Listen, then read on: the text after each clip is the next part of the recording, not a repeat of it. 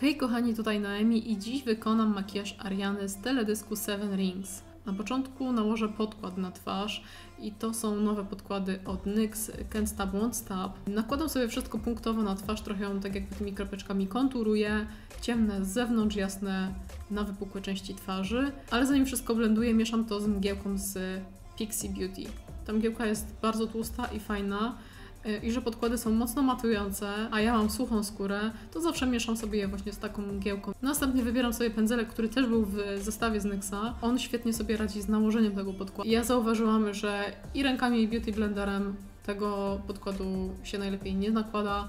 Najlepiej w tym przypadku, moim zdaniem, działa pędzelek. Wtedy ta skóra, jak możecie sami zauważyć, no daje efekt taki gładki, 3D, była bardzo wygładzona przez to, że właśnie podkład jest mocno matujący. Bardzo dobrze wiecie, jeżeli lubicie Arianę, to na pewno zauważyliście, że ona ma proste te brwi, wręcz takie jakby dający efekt takiej zdziwionej twarzy. Ja sobie tu użyję standardowo mojej pomady od Makeup Revolution w e, odcieniu Chocolate. Zewnętrzne kąciki ciągnę w dół, wewnętrzne ciągnę do góry, żeby te brwi lekko wyprostować. No teraz mogę się brać za makijaż oka, który wykonam paletą z Huda Beauty Rose Gold Palette. Wybieram sobie taki czekoladowy, fajny, nudziakowy brąz i jego nałożę na samo zgięcie powieki górnej. Ciągnę tą linię od samego nosa po sam kącik oka. Mogę nałożyć na sam szczyt powieki taki ciepły metaliczny cień z chudy. No i do tego, tak powiem szczerze, nie za bardzo się przykładam, nakładam to palcem i nie zapominam o dolnej powiece.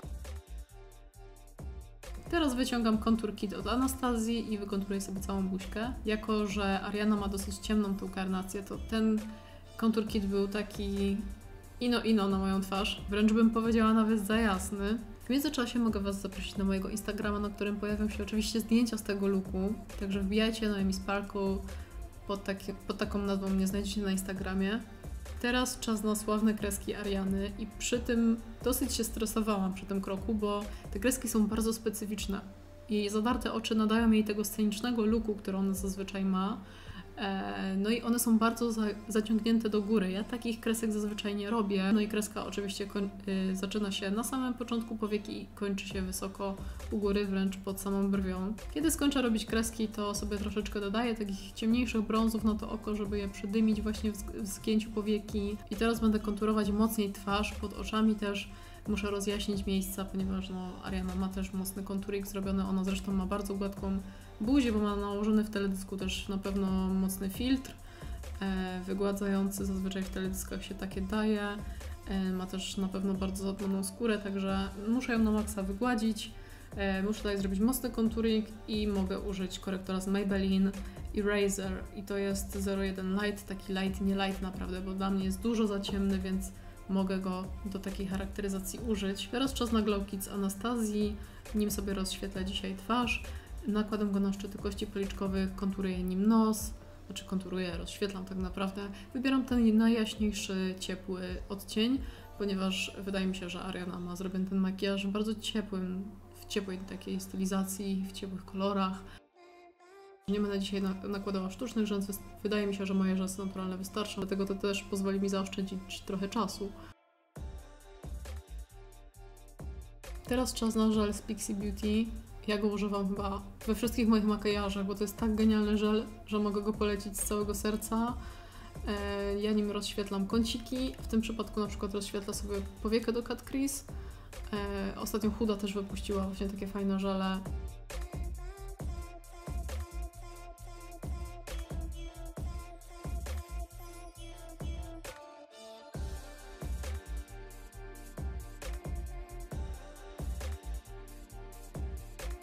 I a, ja użyję w tym przypadku błyszczyku od Nabli.